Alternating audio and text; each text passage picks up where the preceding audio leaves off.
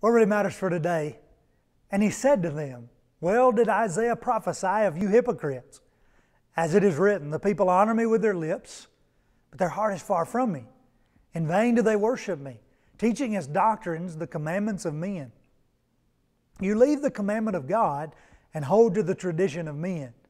You'll find that in Mark 7, verses 6 through 8.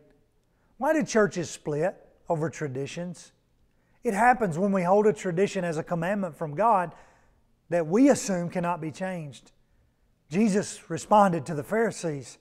They judged people by how well they kept the traditions and not by how well they obeyed the commands of God.